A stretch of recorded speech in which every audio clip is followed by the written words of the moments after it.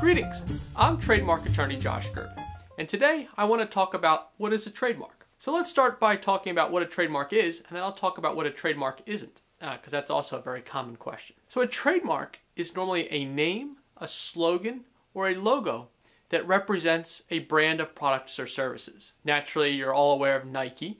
Uh, Nike, the name itself is a trademark. The logo, the swoosh, is also a trademark. And then the tagline, just do it, is a trademark itself. So let's talk for a second about what is not a trademark. A trademark is not a patent or a copyright. A patent would be if you had an invention, a new technology of some sort that you wanted to protect, and protect that actual invention from being copied by others.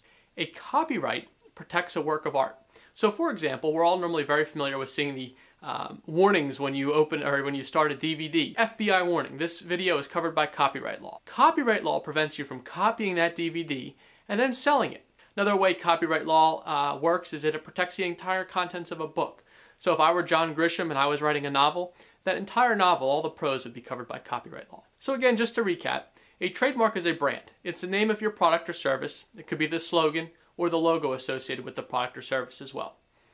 Thank you very much, and if you have any further questions, please feel free to give me a call.